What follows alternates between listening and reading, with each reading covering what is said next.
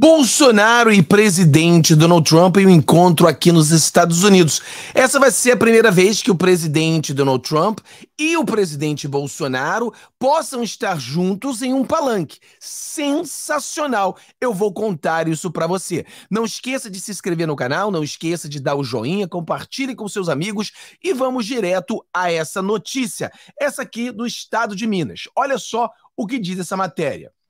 Organização de de encontro conservador nos Estados Unidos chama Bolsonaro de amigo. Você acha que o Bolsonaro é conservador?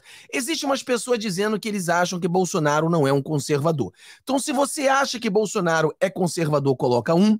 Se você acha que Bolsonaro não é um conservador, coloque dois. Vamos fazer essa enquete aqui e vamos ver quem é que ganha.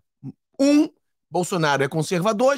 Dois, Bolsonaro não é conservador. O ex-presidente do Brasil participará da próxima CPEC em março nos Estados Unidos.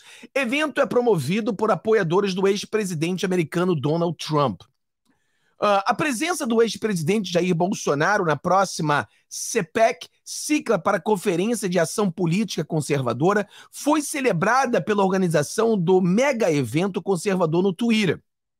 Em publicação, após a confirmação da presença do brasileiro no encontro, a PEC citou as comparações com Donald Trump, republicano que presidiu os Estados Unidos em 2020, e chamou Bolsonaro de amigo. Muitos o chamam de Donald Trump da América do Sul.